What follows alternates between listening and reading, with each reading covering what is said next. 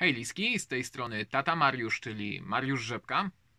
Dziś kolejny łamaniec językowy Marka Dąbrowskiego, tym razem Pikulis i jąkanie. Pikulis się zaciął. Przy książce zatrzymał. Może coś pomyślał, pochylił się, gdyba. Językiem wąs gładzi. Z głodu może znów.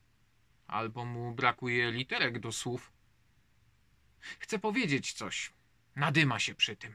Futerko nabrzmiało, jakby bardzo przytył. Dzie... E, heń... Do... Dobry. Dzie... E... E... Ciaki. Ma... A... Am... Dziś problem... Taki. Nie... Mm, mm, Wy... Mu... U...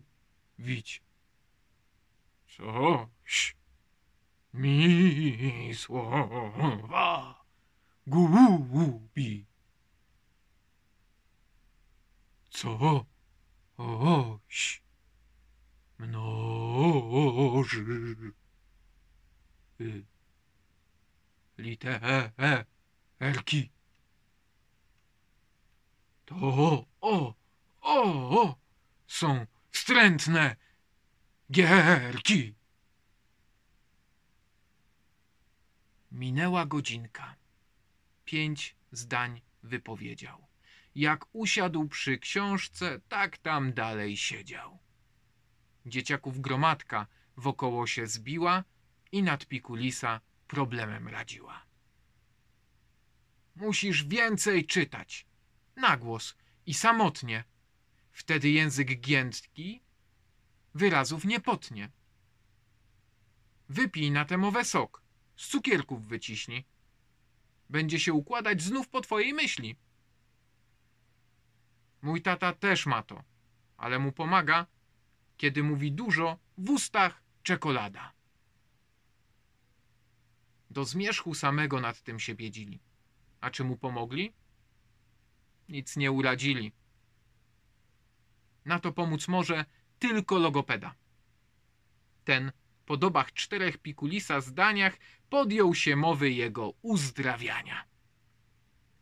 Nie mów nic na razie, proszę cię gorąco.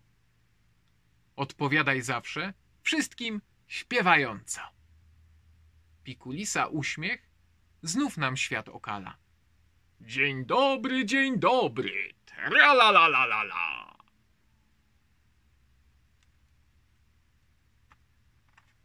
Marek Dąbrowski, Pikulis i jąkanie.